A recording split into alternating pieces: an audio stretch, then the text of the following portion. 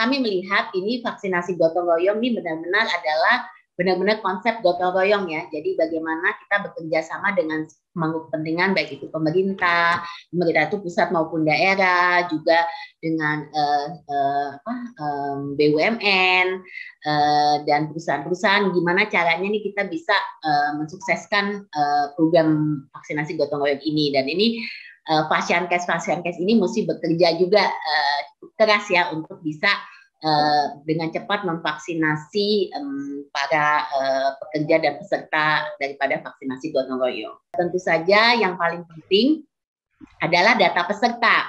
Nah ini sekarang perusahaan ini banyak yang uh, dengan adanya vaksinasi program mereka mencoba pokoknya berupaya paling cepat bagaimana nih caranya dapat vaksin. Jadi ini juga kita mesti sangat berhati-hati dengan data peserta karena vaksinasi uh, program ini juga berjalan dan apalagi di Jakarta sekarang sudah sudah cukup uh, kencang ya jalannya ya dan dan um, di Jabotabek mungkin juga. Nah ini uh, nanti harus berhati-hati karena perusahaan ini harus clear yang udah divaksin, udah masuk ke dalam vaksinasi program tidak bisa lagi masuk ke vaksinasi gotong royong.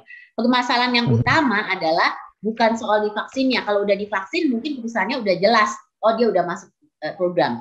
Kadang-kadang ini dia nyoba dua-duanya, dia masukin dua-duanya.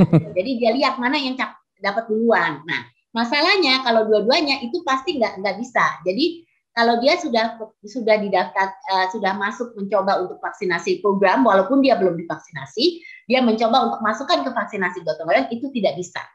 Dan kalau itu tidak bisa itu berarti harus di clean up lagi datanya deh. Itu makan waktu untuk bolak-balik. Makanya perusahaan itu sebaiknya sudah langsung mengidentifikasikan mana yang dia mau untuk gotong royong, mana yang dia mau untuk program.